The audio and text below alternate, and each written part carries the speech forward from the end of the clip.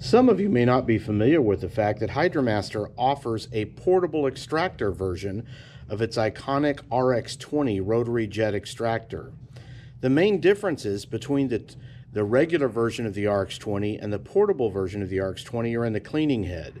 I'm here today with Lance Cody from our engineering department, who's going to point out and explain some of the differences between the two heads.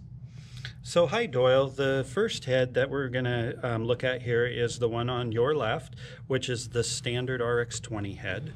And then the one here on the right is the new portable cleaning head for the RX20.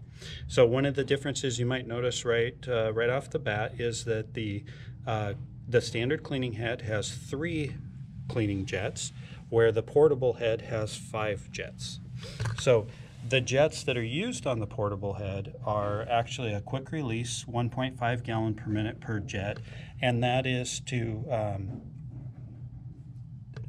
Oh, I'm sorry. That is to uh, uh, work better with the lower flow rates for uh, that are typically associated with a portable unit. The other thing that you might notice right away is that it has a different skid design from our standard unit.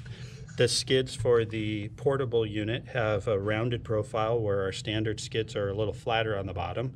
The bail is a little shorter compared to the standard one. And then be, because of the lower airflow rates associated with portables typically, the opening here is narrower than a standard truck mount head, and that's to increase the velocity uh, of the lower airstream and still be able to extract well, like the standard unit does.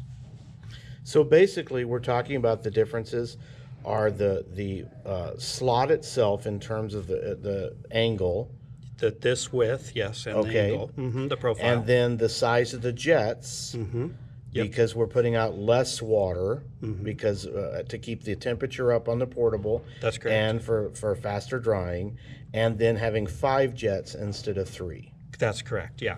Okay thanks lance appreciate your help Oh, you're welcome.